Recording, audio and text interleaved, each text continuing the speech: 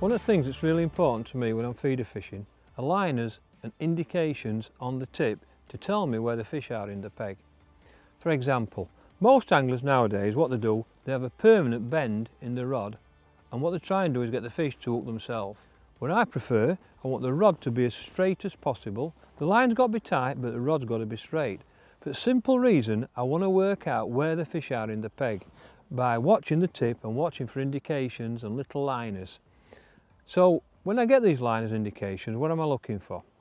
If I'm getting little dinks, little pucks, pulls and, and, it's moving like that all the time, that tells me that the fish are at the feeder. And they've come to the feeder and they're feeding around the feeder. They're hitting the feeder and the line, you get little dinks and indication. That tells me that I'm fishing in the right spot. But sometimes you get liners that are big liners and they pull the tip round like that and then they come back. Now if I'm getting big liners where it goes round and comes back, it tells me that the fish are between the feeder and my rod tip. So what they do, they tell me where the fish are in the peg. That's why to me it's very important that I look for these indications. And when your setup is and when your rod's bent like that, you don't get these indications, so you can't work out where the fish are in your peg.